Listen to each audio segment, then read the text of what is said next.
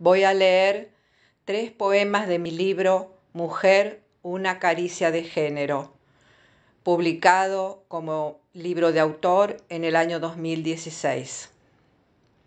Hibiscus. En la esquina izquierda del jardín, siempre a la izquierda, se encuentra la rosa china. Desde allí sus trompetas suenan de roja sangre sus penas. Con cinco pétalos colorados, conspicuas lenguas de fuego, cantan lamentos de angustia con sus lágrimas de viento. El viento las mece apenas. El sol despierta su cuerpo mientras su color recuerda los gritos del pueblo muerto. Flor de avispa o grosella, sangre de Cristo y clavel, mi rosa hibiscus espera la libertad del laurel. Prisionera.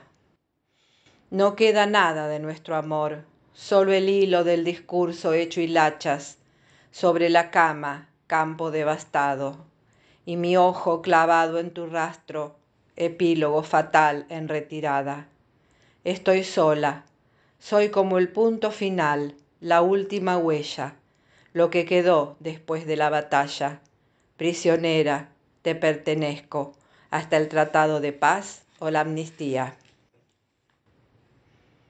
Mujer en sombras. Fluye el agua entre las rocas como un desgarrador llanto de cristal.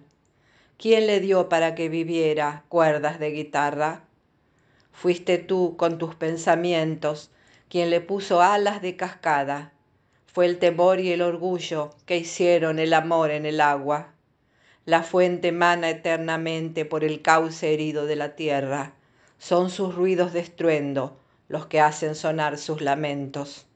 Las voces del río cantan con su música invasora sobre un bosque invisible y bajo el árbol nuestras sombras.